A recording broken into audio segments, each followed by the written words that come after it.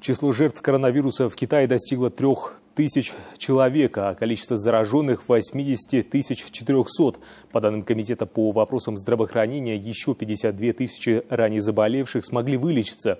При этом за сутки зафиксировано 143 новых случая заражения.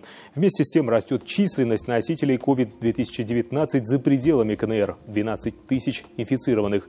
Новый коронавирус, сообщает ВОЗ, пробрался еще в четыре страны – Аргентину, Чили, Польшу и Украину. Особо неизменная ситуация остается в Италии, Иране, Южной Корее и Японии, превратившихся в эпицентры распространения смертельной инфекции.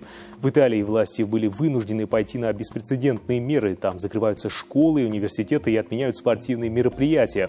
Этому же примеру следует и в ряде других стран, пораженных вирусом. Во Всемирной организации здравоохранения также заявили о глобальном дефиците лекарств и масок из-за вспышки пневмонии, вызванной коронавирусом.